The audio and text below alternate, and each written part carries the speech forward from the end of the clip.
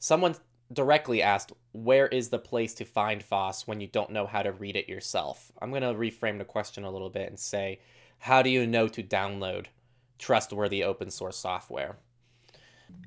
This is the case with all computing, which is that at the end of the day, you either need to either trust the developers are pushing out what they say they're pushing out, or you have to check it yourself. But there's really no, you can't rely on anybody perfectly to vet all of these things. That's the unfortunate truth with all computing and with all products. I think it's just a general rule when you're doing anything that you don't do yourself that there is some reliance on someone else doing it for you.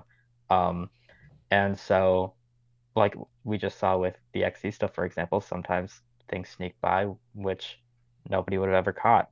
And I, I say this, but I don't think that that's a reason to not use all of these products. I think that if you're using stuff that's reasonably um, like maintained, um, and you can look at like if they have a GitHub page, see how often people are using it, see how many stars it has, maybe see how many issues there are and how active they are at responding to that kind of thing, etc. Even though stuff like this happens sometimes where um, products aren't what they say they are, um, by and large, you're you're gonna be fine um, with right. most of these mainstream products.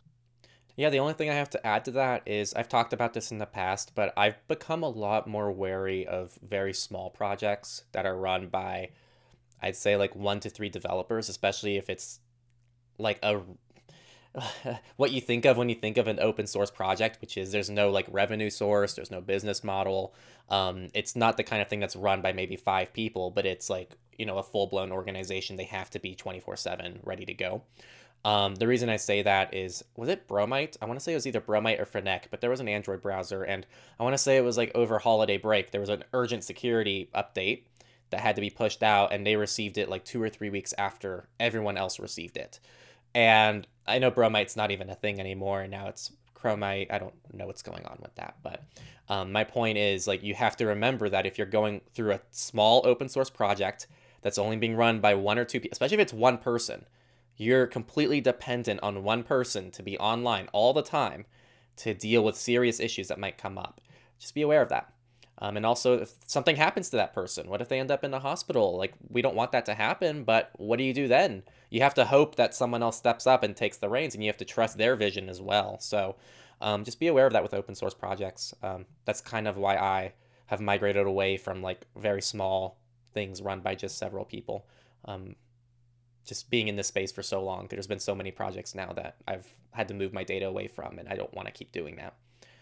Yeah, that's totally valid. I, I you just have to remember that like with open source projects like that, it's it's literally not their job in almost yeah. all cases to work on this. Yeah. and so there, you, you do have to there, yeah, you can't blame like, them. There's upset. some kind of acceptance that you have to have where maybe this project will just be unmaintained someday and you have to keep an eye on that and be prepared to switch to something else um, especially when it comes to small stuff like that so yeah I think that's a healthy perspective going into it to have is like you can appreciate it, you can do it, but just be aware it might not exist forever.